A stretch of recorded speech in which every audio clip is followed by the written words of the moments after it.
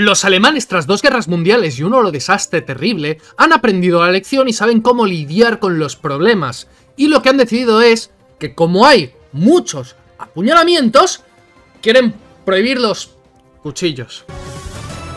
Bienvenidos a Libertad de lo que surja este noticiero Gili Progre y vamos a hablar de la estupenda medida que ha tomado el gobierno alemán y vamos a hablar de las noticias de España y alrededores. En política y economía, exclusiva, el correo que demuestra cómo se montó el despacho express para el hermano de Pedro Sánchez. Este correo electrónico demuestra las maniobras de la Diputación de Badajoz para que todo cuadre en la coartada de Abel Sánchez cuando estalló el escándalo sobre su patrimonio y poco antes de que un juzgado de instrucción admitiera a trámite la denuncia contra él. Es que de verdad que en todo esto se están haciendo una de jugadas maestras por parte del Estado para taparse el culo unos a otros, va a ser impresionante. Y ojito que esto tiene tela, porque está Begoña por un lado, la mujer de Pedro Sánchez, y por otro lado, el hermano. Es que eh, los progres son capaces de, si es condenado el hermano con algo relacionado con Pedro Sánchez, y luego Begoña no, porque tiene toda la pinta de que no, pero este sí. Lo que van a decir es única exclusivamente, ¿veis, veis, veis? Todo era una orquestada para mancillar el nombre de Pedro Sánchez y Begoña era inocente. Y, va a ser todo el mundo, ya, pero, pero el hermano, no, no, pero que se habían inventado, mirad, mirad cómo... Ya, y el, al final ya veréis. Irene Montero descalifica al nuevo conseller de Justicia de Illa antiabortista, transfobo y antifeminista. No son descalificaciones. Transfobo vale, porque es irracional contra unas personas, pero antiabortista no es una descalificación, es una postura política. O antifeminista, lo mismo. Es como decir que llamar a alguien abortista es insultarlo. No. Siete de cada diez jóvenes que trabajan siguen viviendo con sus padres. Emanciparse supondría el 108 de su salario. La edad media a la que abandonan el hogar familiar bate un nuevo récord histórico y se sitúa en 30,4 años. De verdad que hay un problema ultra serio con la vivienda en España. Es que esto no tiene, no tiene razón de ser. Lo que pasa es que la mayoría de españoles tienen un piso en propiedad. Por lo tanto, si bajase el precio de los alquileres o de los pisos, se resentiría el partido político que lo consiguiera. Porque es que son mayoría. Entonces, aquí hay problemitas. Pero vamos, que los que quieren solucionar el tema están empeñados en hacer lo que no funciona, lo de regular los precios, que está haciendo que prácticamente nadie quiera poner su piso en alquiler, en vez de hacer lo que está ocurriendo en Argentina, que es desregular el mercado inmobiliario y de los alquileres, entonces la oferta de vivienda se ha multiplicado por dos y el precio ha bajado un 20% en lo que lleva mi ley gobernando, entonces...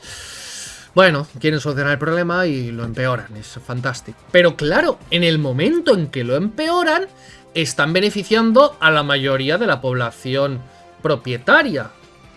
O por lo menos los que se arriesgan a poner el piso en alquiler, que aunque cada vez sean menos, es una jugada extraña. En delincuencia detienen a un hombre y a la madre de ese hombre, es decir, a un hombre y a una mujer, que esto no lo mencionan, y que casualmente a los dos les gusta mucho dar palmas, eso tampoco lo mencionan, por tener a su pareja atada de pies y manos a la cama durante un mes en Salamanca. Los agentes de la Policía Nacional se encontraron a la mujer inmovilizada con fuerte olor a orín, aturdimiento y con múltiples lesiones. De verdad, Dios, qué rápido. Es que no, no, me explico cómo alguien está, está tan enfermo de hacer algo así, de verdad. En noticias generales, los inmigrantes llegan a España mejor formados que antes de la crisis. Los extranjeros suponen casi un 19% de la población total del país que bate récords con 48,8 millones. Es decir, que ahora no solamente quitarán los trabajos a la gente peor formada, sino un poquito más, ¿o cómo? ¿Vienen mejor formados porque cada vez hay más formación en todos los sitios? ¿O, qué? ¿Qué está pasando aquí? Pero bueno, oye, bien, guay, o sea, mola que estén formados, que sepan hacer cosas. Cuantas más cosas sepan hacer, menos probabilidades hay de que se pongan a robar porque tienen más alternativas, digo yo, ¿no?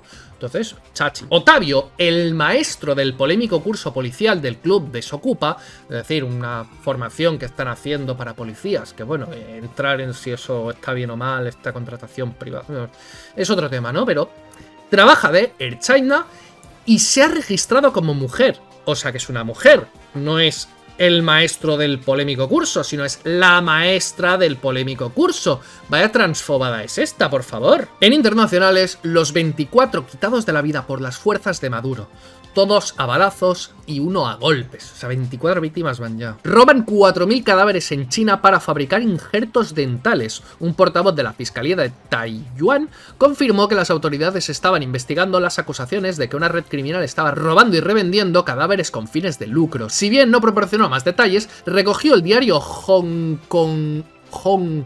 Hong Hongkonés... No es hongkongonés, no, es hongkonés. South, hongkonés South China... ¡Hostia!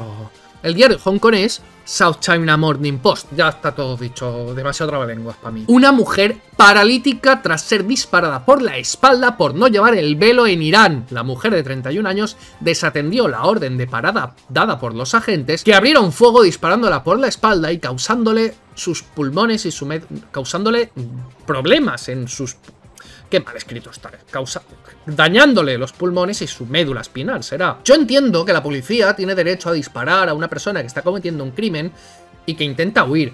Por ejemplo, si está descuartizando un bebé. Ahí sí. Pero por no llevar un velo. ¿Estamos locos o qué? La boxeadora Imane Kelif presenta una denuncia por ciberacoso en los Juegos Olímpicos. El abogado de la boxeadora argelina asegura que luchará por la justicia, la dignidad y el honor tras un acoso que permanecerá como la mayor mancha de la competición. A ver, exactamente por qué está denunciando, porque dicen que es trans. ¿Es que acaso es malo ser trans? Porque dicen que es un tío. ¿Acaso es malo ser útil? No sé, yo creo que todo esto es libertad de expresión. Es verdad que si le han amenazado de quitarle la vida y barbaridades así, pues que haya denuncias concretas a esta persona que me ha hecho, me ha dicho, no sé qué. Vale, pero... ¿Qué, qué, qué, qué? Si este hate se pudiera denunciar, Madre mía, me iba. La Comisión Europea amenaza a Twitter tras anunciar Musk una entrevista a Donald Trump. El comisario de Mercado Interior ha advertido al magnate ante potencial... ¿Pero por qué hoy están tan mal escritas las noticias? Ante el, el potencial discurso de odio antes de su charla con Trump. Em, bueno, lo dicho, que ya sabemos em, de qué cuerda están todas estas cositas y estas instituciones. Pero bueno, vamos con la noticia del día y es que Alemania es súper inteligente porque limitará el uso de cuchillos en público ante el aumento de ataques con arma blanca. A ver, básicamente estos genios han dicho, oye, hay gente que está usando los cuchillos para pinchar a personas. Son personas que son capaces de saltarse la ley, que esa ley que dice que está prohibido pinchar a gente, que, está prohibido quitarles la vida, son gente que esa ley, que, les condena muchísimos años de prisión, esa ley no les acaba de desincentivar a hacer lo suyo. Entonces han decidido, si eso no es suficiente, añadirles un poquito más, ¿no? Una multa por llevar un cuchillo, ¿sabes? Que la pena sea un par de días más, porque digo yo que proporcionalmente, comparado con quitar la vida a alguien, tampoco será para tanto. Entonces han dicho, con esto ya... O sea, ¿tú de verdad crees que una persona que está dispuesta a quitar la vida a alguien va a decir, mejor no llevo cuchillo? No sea que, que cuando haga esto de quitar la vida a alguien, me registren y me pillen que he llevado un cuchillo. Tengo que explicar por qué esto. No. O sea, desde la política no creo yo que de verdad se piensen que esto va a solucionar absolutamente nada. Entonces, ¿los votantes se quedan más tranquilos con esta medida? O sea, un político te dice, mira, oye, esto de que la gente vaya pinchándose una a otra, lo voy a arreglar, ¿eh? Vaya a prohibir los cuchillos en la vía pública. La gente de verdad dice, ahora me siento más seguro. ¿En serio? ¿Hay alguien así? Hago más falta de lo que pensaba, creo yo, ¿eh? suscríbete.